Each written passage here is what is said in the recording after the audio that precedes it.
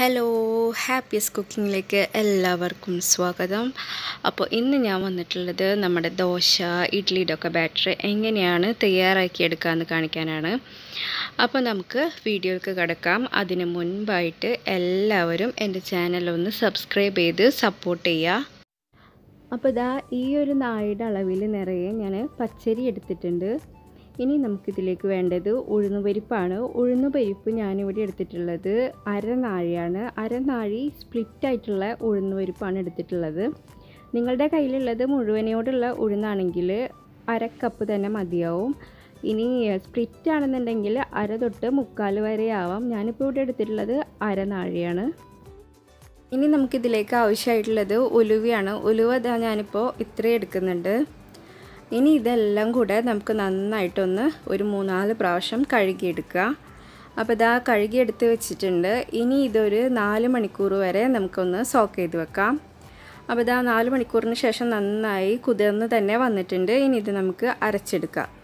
ഇതിപ്പോൾ ഞാൻ രണ്ട് തവണയായിട്ടാണ് അരച്ചെടുക്കുന്നത്.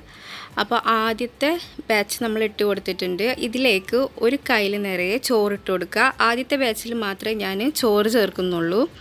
ഇനി ഇതിലേക്ക് നമുക്കിതാ വെള്ളം ചേർത്ത് കൊടുക്കണം. അപ്പോൾ അതിനായിട്ട് ഞാനിവിടെ മുക്കാൽ ഗ്ലാസ് അളവിൽ വെള്ളം എടുത്തിട്ടുണ്ട്.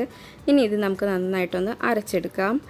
അപ്പോൾ ഇതാ നന്നായിട്ട് അരച്ചെടുത്തിട്ടുണ്ട്. ആ മുക്കാൽ ഗ്ലാസ് വെള്ളം നമുക്ക് ഒഴിച്ച് തന്നെ അരച്ചെടുക്കാം കേട്ടോ. അപ്പോൾ നന്നായി അരച്ചെടുത്തിട്ടുണ്ട്. ഇനി നമുക്ക് സെക്കൻഡ് ബാച്ചും ഇതുപോലെ തന്നെ നന്നായിട്ടൊന്ന് അരച്ചെടുക്കാം.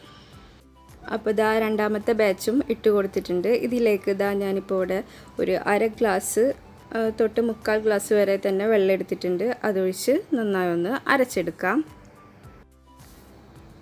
അപ്പോൾ ഇതാ രണ്ട് ബാച്ചും അരച്ചെടുത്തിട്ടുണ്ട്.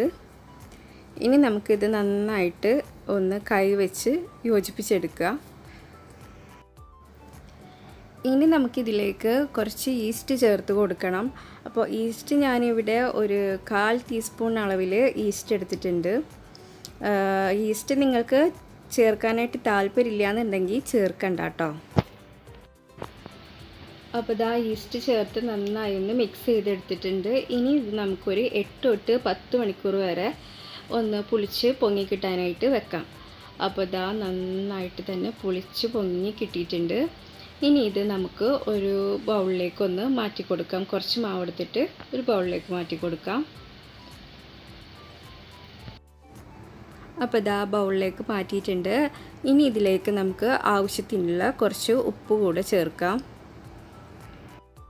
ഉപ്പ് ചേർത്ത് കൊടുത്തിട്ടുണ്ട്. ഇനി ഇത് നന്നായിട്ടൊന്ന് മിക്സ് ചെയ്തെടുക്കുക. അപ്പോൾ ഇതാ ആദ്യം തന്നെ തയ്യാറാക്കുന്നത് ഇഡ്ഡലിയാണ്. അപ്പോൾ ഇഡ്ഡലിക്ക് ഈ ഒരു മാവ് കറക്റ്റ് പാകമാണ് നമ്മൾ തയ്യാറാക്കി വെച്ചിട്ടുള്ള മാവ് കറക്റ്റ് പാകമാണ് ഇതിലേക്ക് ഇനി നമുക്ക് വേറെ വെള്ളമൊന്നും ചേർത്ത് കൊടുക്കേണ്ട ആവശ്യമില്ല. ഇനി നമുക്ക് ഓരോ തവി ബാറ്റർ എടുത്തിട്ട് ഒഴിച്ചു കൊടുക്കാം. അപ്പോൾ അതിന് മുൻപായിട്ട് ഞാൻ ഈ ഇഡ്ഡലി തട്ടിൽ കുറച്ച് ഓയിലൊന്ന് തേച്ച് കൊടുത്തിട്ടുണ്ട്. അപ്പോൾ ഇനി നമുക്ക് ഇഡ്ഡലി വേവിച്ചെടുക്കാം.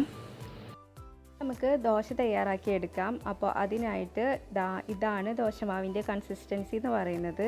ഇതിലേക്ക് ഞാനിപ്പോൾ ഒരു രണ്ടോ മൂന്നോ സ്പൂണ് വെള്ളം ഒഴിച്ച് കൊടുത്തിട്ടുണ്ട്. ഒരുപാട് വെള്ളം കോരി ഒഴിക്കരുത്.